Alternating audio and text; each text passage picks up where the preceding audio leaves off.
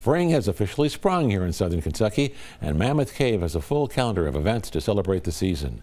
WBKO's Derek Parham joined park staff today to bring us the details.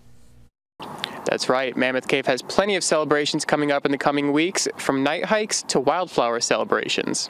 Our dark skies have been celebrated throughout human history. Stories of people coming up with, you know, what constellations are and making up stories about them or writings that focus on the dark sky environment. So it is important to our culture.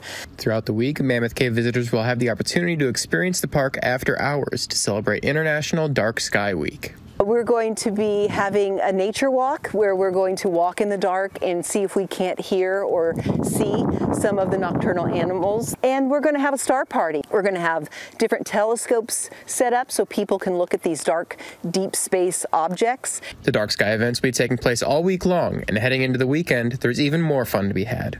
April 22nd, we're celebrating Wildflower Day at Mammoth Cave National Park. It's an annual event we hold because we have some wonderful wildflowers, and right now is a great time to get out and see them along our trails and roadways. Following the wildflower celebration will be the start of National Park Week and even more opportunities for park visitors. So as a part of a celebration and kickoff of National Park Week, we are going to be offering the Discovery Tour for free from 10 a.m. to 2 p.m. For a full list of events, visit the National Park Service website or join us over at WBKO.com.